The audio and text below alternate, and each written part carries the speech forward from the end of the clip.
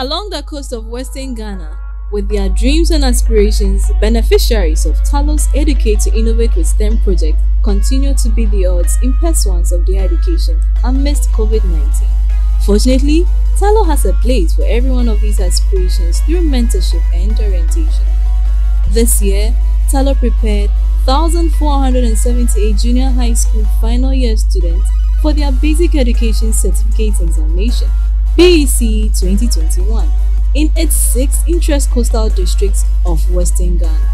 Shama, Ahanta West, Nzema East, Sekondi Takoradi Metropolis, Ellembelle, and Jomoro. With the support of the Ghana Education Service and Ministry of Education, students receive orientation from seasoned examiners on the do's and don'ts of BECE, including how they can conduct themselves and relate with invigilators properly during their exams. It was a joy for past beneficiaries of the project like Emmanuel Kweku to engage, motivate and inspire the candidates having gone through the system himself. Has it not been like such program would not be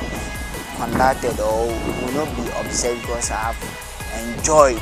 and because when I was in my final year student they did the same thing so I said a big thank you to them and the Lord should continue to bless them. The Educate to Innovate with STEM projects funded by Tullow and implemented by the Youth Bridge Foundation which initially served 21 junior high schools and 10 senior high schools has now in its new phase been expanded to cover 25 junior high schools and 11 senior high schools a timely intervention to ensure education inclusion for youth in the western region of Ghana.